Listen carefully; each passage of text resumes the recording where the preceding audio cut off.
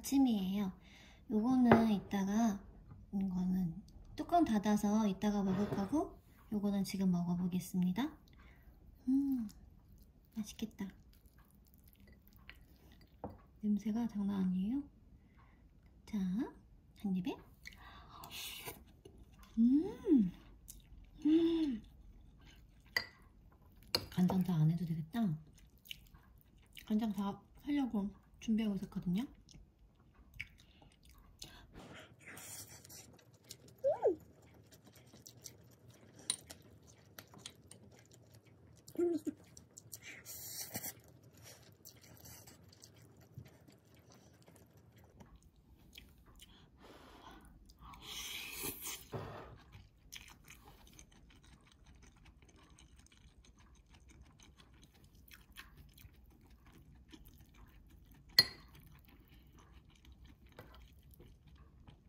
양파가 아삭아삭 씹히면서 음, 진짜 맛있어요.